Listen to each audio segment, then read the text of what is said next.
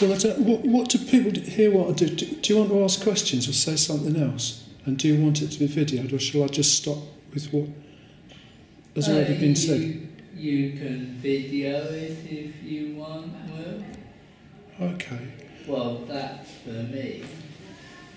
I want to ask how I can tap my match Right, what you do is you get a ClassWiz calculator, which can basically it can solve quadratic equations and simultaneous equations and all the functions in Maths GCSE. Where do you get them? Um, on the internet, they're 20 quid. What do I need to do? You need to put a 991 ES calculator.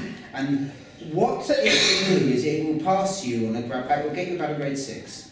It won't get you the full, it won't get you, the exam system now goes up to 9. But the that calculator by itself will get you a 6. Ah, Because it will get you through a foundation exam. Because all you have to do is to what it does is it can solve equations numerically. Um, so it can give you the right answer. And it is terribly easy in maths. If you know what the right answer is, it's terribly easy to look like you've worked it out for yourself. yeah, and then you can. And uh, uh, all you need to know is a bit of how to write it down. Uh, and you will get the right answer. And so what it can do is it can do simultaneous, it can do quadratic, it can do mode, mean and median, so it can do enough of the syllabus to get you through. Oh, it can do ratios if you can be asked. Um, it, it's got, it's typically, it's all there. It's down, but it's got a very, it's not, it's not even very complicated.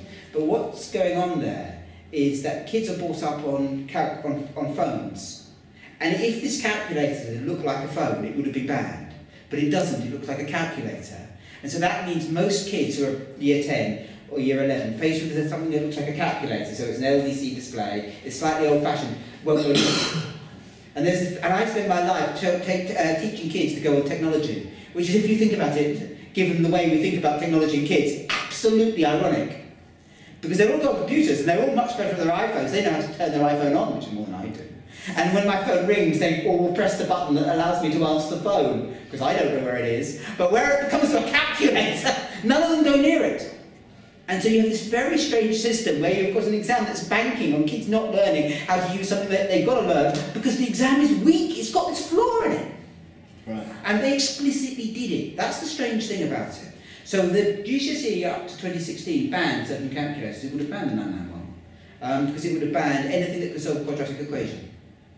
Right. Um, and they changed that specification.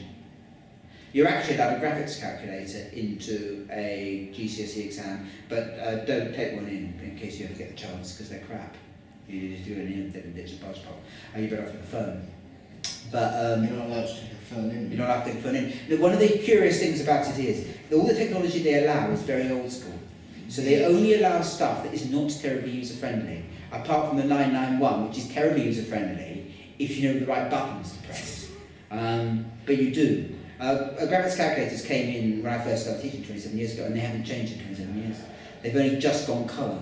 Um, I can get what if you want my opinion, what they should allow you to do, by the way, is I think that the education system ought to buy up old iPads, and they um, and then strip out all the all the all the GE technology, so that they just become just pad, just pad, just Wi-Fi, and then turn off the school Wi-Fi.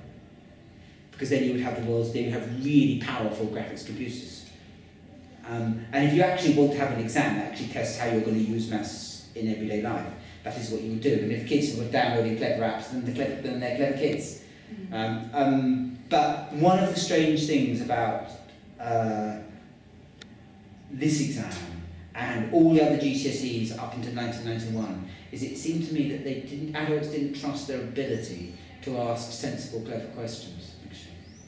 So it's very, it's very easy in maths to ask a crossword question. So you can kind of generate um, difficulty by just saying, well, that means that, that means that, that means that, that means that. And it's like a crossword clue. Or you can actually ask real world questions. And actually, the, the gift of asking right questions is, is quite hard. Um, and one of the things I actually think adults have is a, is a deep lack of confidence in asking kids sensible questions. But that's probably a different story. But anyway, 991 ES, and it will get you through. I mean, I have a friend that's just she needs a maths GCSE for her job, but she's failed three times. So 991ES? But yeah, so now. No, no, she can get, get the 991 ES. I said, what it It's not even relevant to her job though. It doesn't But matter. she needs she needs to, and she'll need to get a grade five. If she can pass it this year, she'll need to get a grade five next year. So it gets worse. Um, but as I said, this you don't. It's crazy. She doesn't use the skill in. No, no, it's, but it's an initiation rite. It's a scar. It's, it's, it's, it's the, the equivalent to circumcision. That, that is where you have. That's what you're looking at. It's mental circumcision. You're looking that that because the, and if you look at how we think about G, uh, GCSE, when you're going into a pedia, you're in this dangerous state. It's all about you. That's straight initiation rite. Straight out of anthropology of the 19th century. Um, to such a point, when you're reading the, when I read the anthropology of the 19th century, I'm sitting there thinking, you're not talking about this tribe. You're talking about how you study for an exam, and you're applying it back to the tribe. But it's crazy, and that has got what a lot, lot worse. Just as it doesn't has to, it just it could get better, and it's a very strange situation. Do, do you have any idea what's happening with English or media and that, that, those areas? English has gone the same way. So English, you have to recognise all kinds of things. Like anybody know what a gerundive is? No. A subsidiary clause. Anybody? Uh, there's all kinds of ones. I don't even. Uh, there, there's the difference between. Uh, I only know them because I'm old enough to have read Down with Skool. And Nigel Molesworth is forced to learn the parts of grammar, the gerundives attacking the peaceful pronouns. Um, so because I read Down with Skool, I actually know my parts of speech. you really too well.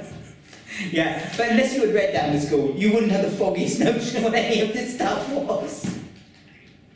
Um, so English has gone that way. Um, I don't know what's happened with science. Science has just changed the new system. It's meant to have got more rigorous. I, um, one of the things they're doing, I'll give you an, uh, uh, one, is that there's been a traditional way you've taught things in terms of triangles. Uh, speed, distance, time. Speed, uh, speed, distance, time. You can draw them. And you, one of the things they've done across all the subjects is they want you to do it in terms of algebra. It is in terms of, it's, like a hieroglyph. You can draw a hieroglyph and it'll solve it for you. And they're trying, they, they've officially made it uh, a markable wrong if you use that's the standard method that every teacher has always taught for the last 20 years. Now, you might notice I said 20 years, I've been teaching for 27 years, seven years uh, before that we didn't use it. Um, and it's, it's and this exam season, I, there have been some appalling exams, but because I was taught by an Edwardian maths teacher, I was taught by somebody in her 90s, I was taught these really old-fashioned methods. And actually, if you use very old-fashioned methods, again, the exam's just simple. Because you just have to use maths that's 100 years old, and then it's easy. And you, you sit there going, well, what the fuck? I mean, this, this exam is being created because the way we teach it makes it hard. Why? Why are we doing this? We- There's no point. And what's my Edwardian methods are not better. They're actually harder to understand. It just happens to be I had an Edwardian math teacher.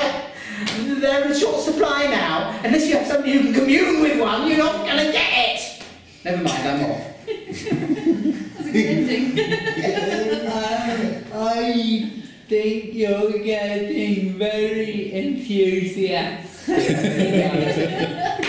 Maybe just a bit. Yeah, yeah. But it is, it is, the entire thing has ended up as beyond crazy. Um, and it's not.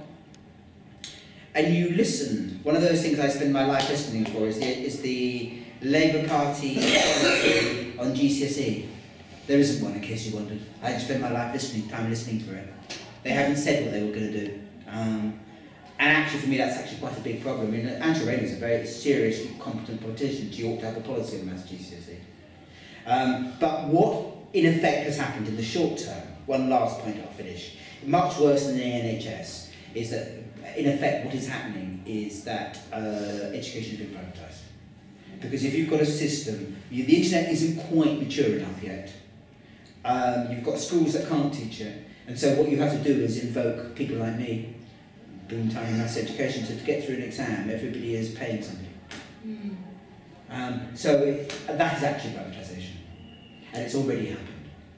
Um, and nobody talks about it. And it's happened because of the exam change. And again, I'm off the topic again, but So thanks to Michael Gove. you might go. Michael Gove. It's going. It's going. Uh, uh, the, the world is not small enough. It's too small for the numbers of tortures I wish to do to the man. He sounds like an idiot. Oh yes. Well, John, Don't get me on him. I think, uh, anyway, yes, I. I could email him. No, he's not an idiot. He is an idiot. He's an idiot. Yeah, it's uh, He's, uh, he's a, he's a, but what he is is, anyway, anyway, yes. I think that really does. I probably have to get back to my space. Poor, poor Shane is holding the space at the moment. Okay. Well, look, thank, thank you for coming on. Thank you. Thank you. Thank you. So great That was highly entertaining. Bye. He didn't like